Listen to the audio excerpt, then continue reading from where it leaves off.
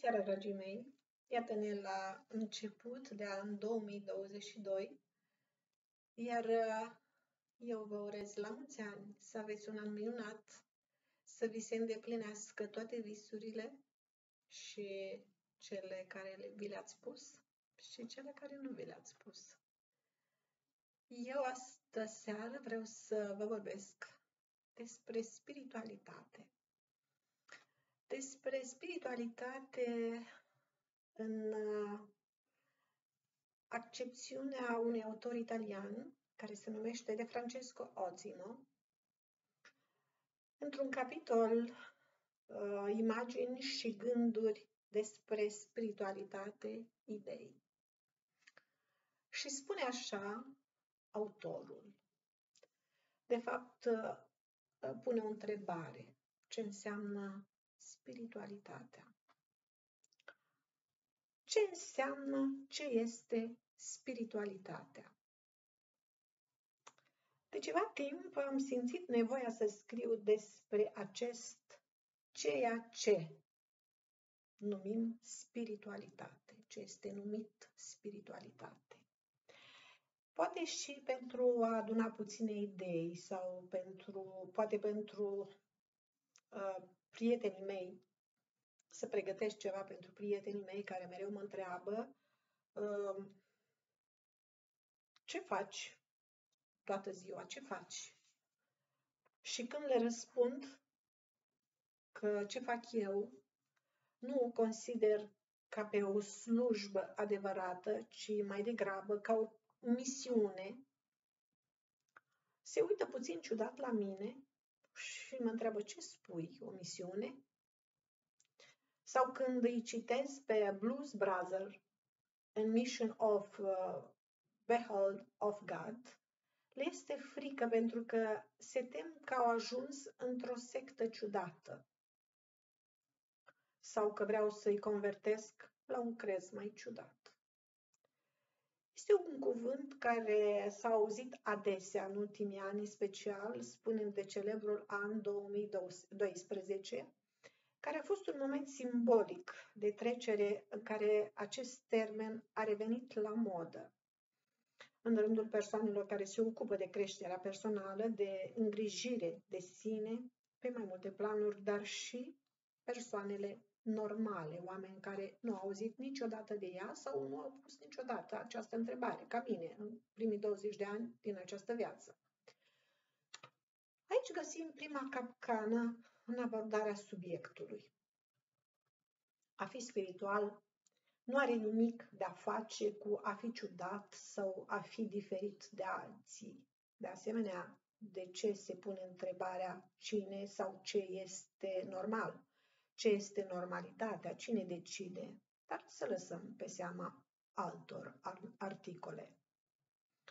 A fi spiritual poate solicita imediat renunțare, penitență sau practică ciudată în alimentație, în sex sau în viața de zi cu zi, ceva care ne dă, ne îndepărtează de niște obiceiuri pe care se pare că îl iubim chiar și foarte mult.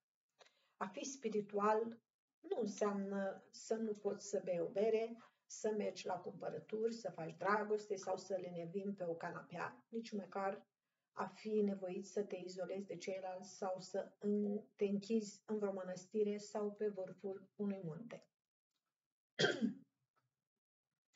A fi spiritual înseamnă, din experiența mea, să simt, să ascult și să observ acea dorință de a înțelege, repet, a înțelege, a învăța, a cunoaște ceea ce se ascunde în spatele aspectului lucrurilor, celebrul văl. Pentru că lucrurile au fost și sunt așa și, prin urmare, au un rol activ în trăire. A trăi și nu a supraviețui. Să experimentezi lucruri, să cunoști oameni, să interacționezi și să te simți neînfricat de frumos și urât, emoții și senzații fizice plăcute și neplăcute și să le poți traduce ca să înțelegi de ce mi se întâmplă asta. citind în mesajul pe care îl aduc, care ne servește evoluției și nu ne oprim la obiceiul pe care îl avem. Pentru că mă simt trist sau supărat sau dezamăgit, ce rost are ce mi se întâmplă? Ce fac eu aici? Care este înțelesul vieții? Cu siguranță este necesar să ne punem întrebări care sunt incomode pentru că ne determină să părăsim cunoscutul, celebra zonă de confort. Și asta ne sperie puțin. Ele ne determină să ne punem la îndoială, să vedem care sunt aspectele ființei noastre, care ne boicotează chiar și fără să știm. Știai că avem ceva? Asumați-vă riscul de a descoperi tot ceea ce știm sau credem că știm e fals, că dorim. De unde și faimoasa trezire a conștiinței. Toate acestea sunt înfricoșătoare pentru certitudinile pe care mintea noastră logică, ego, partea rațională, personalitate, credințe, cultură, învățături și le-a creat, se dezintegrează brusc, literal. Se pare că ne fuge pământul de sub picioare și să ne trezim brusc este înfricoșător. Spiritualitatea contrastează aparent, dar nu exclude, ci mai degrabă integrează materialitatea cu ființa materialistă a seriei.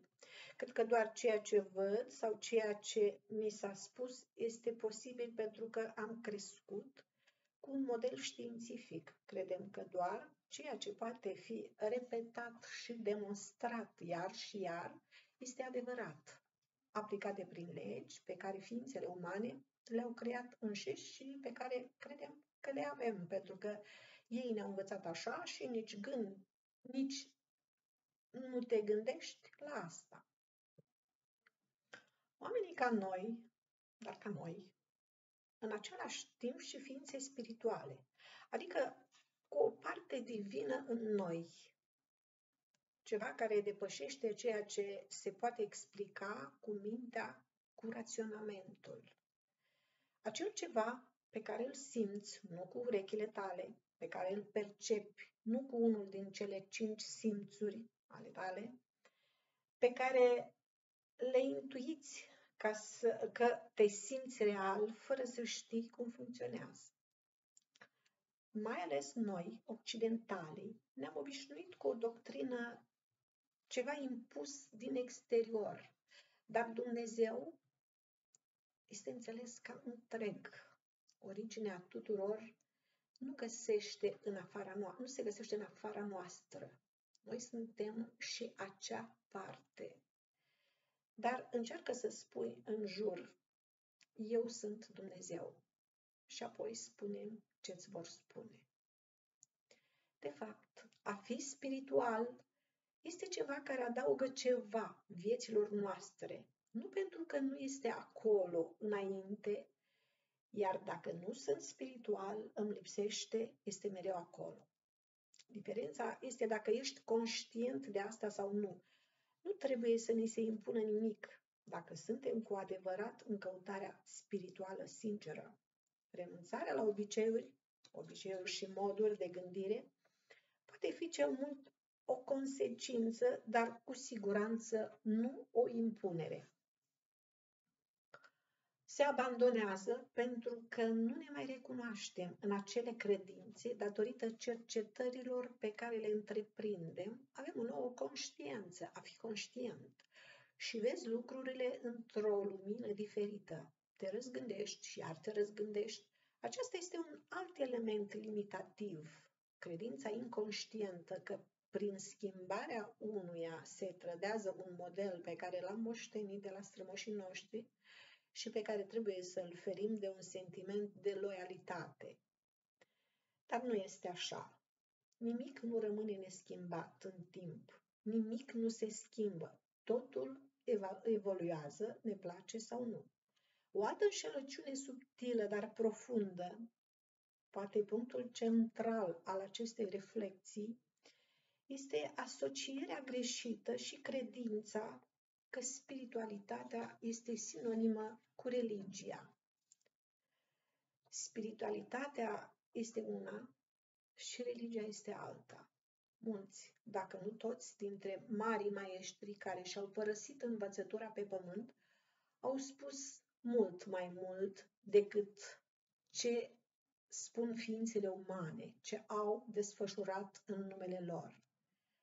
Ce ar spune Isus despre biserică și opera ei de-a lungul secolelor? Spiritualitatea este căutarea și redescoperirea divinului, Dumnezeu, așa cum vrem să-L înțelegem sau să-L numim, sursă, matrice, lumină, univers, tot, Allah, Buddha, în tot, în fiecare gest, în fiecare persoană. Căutarea înțelegerii legilor divine care reglementează materia, ceea ce suntem obișnuiți să numim realitate, care are foarte puțin real. Spiritualitatea este căutarea de sine în celălalt, de a rești că tot ceea ce vedem și experimentăm în afară este în realitate oglinda noastră, o proiecție a întregului, cu un sens și un de ce și este perfect așa cum este. Dacă este ceva neplăcut sau urât, precum boala de exemplu, ne arată ce trebuie să schimbăm în felul nostru de a trăi și de a vedea lucrurile.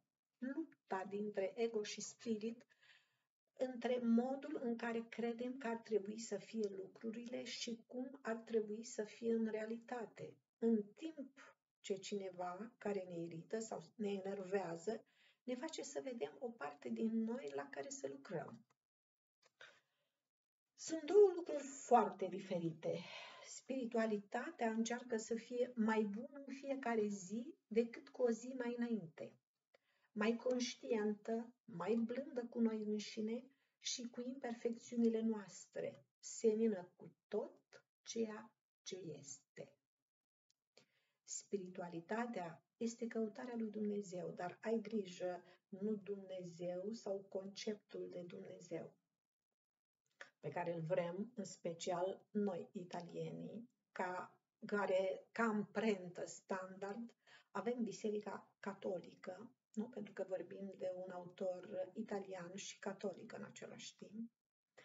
Deci, uh, repet,